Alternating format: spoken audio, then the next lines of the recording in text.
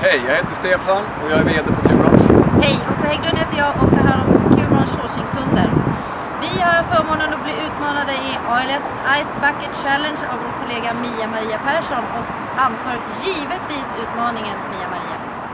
Och Q-bransch kommer nu att skänka pengar till ALS-forskningen. Vi kommer också personligen att göra det. Och det kan ju vara så här att eh, man inte vill hälla vatten på sig för att eh, gå in i den här utmaningen. Och vi har bestämt oss för att vi skickar inte den vidare.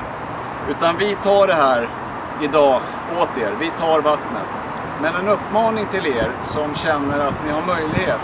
Stötta gärna ALS-forskningen eller andra hjälporganisationer som du känner ligger nära dig om hjärtat. Okej, Gjort. okay. gjort.